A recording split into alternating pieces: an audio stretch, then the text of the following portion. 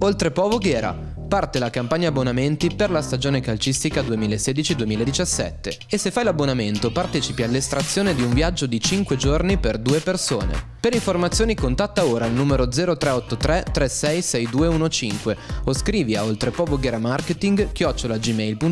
Buon venerdì a tutti, benvenuti a Vox Populi. Anche oggi tre persone fermate in maniera casuale per le vie di Voghera risponderanno alla domanda sull'argomento del giorno.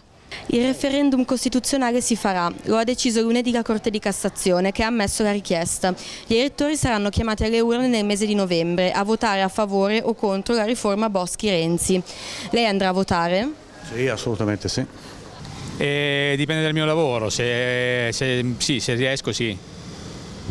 Sì, a votare ci vado sicuramente, perché è giusto ed è un diritto di tutti poter esprimere il proprio giudizio che sia giusto o che sia sbagliato indubbiamente. Trova questo referendum utile all'Italia in questo momento di crisi?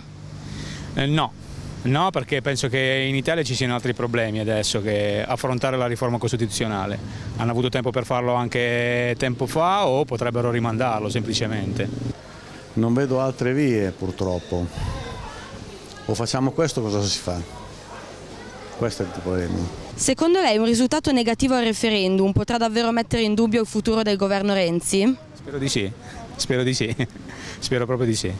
Mm, beh, più che altro perché mi, mi riallaccio a quello che ho detto prima, ci sono problemi, problemi in Italia eh, superiori che alla riforma costituzionale, credo, solo per quello dovrebbero affrontare altri problemi che solo e semplicemente la riforma costituzionale. Cioè pensare solo al Parlamento, ai senatori, alle regioni adesso, mm, penso che non che siano inutili, che è un problema secondario. Renzi non darà le dimissioni, non farà la fine di Cameron.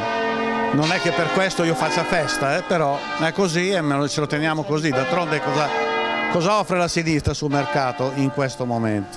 Chi c'è? Quelli vecchi come me oramai sono stati rottamati ed è bene così. Giovani chi abbiamo? Civati?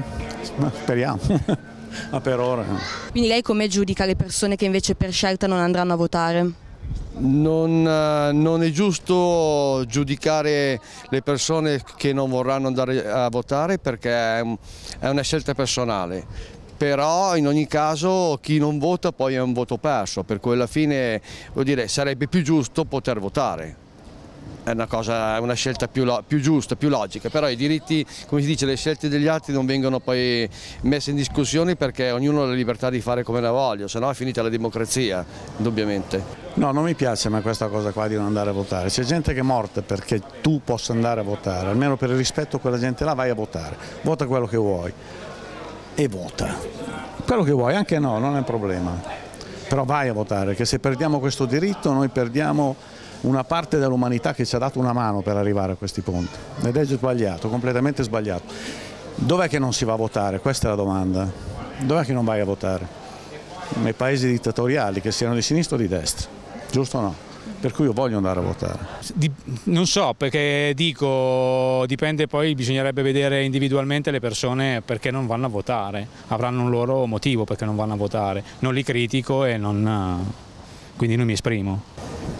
Lei cosa ne pensa invece dell'utilità che questo referendum può avere in un momento di tale crisi per l'Italia? Lo trova utile?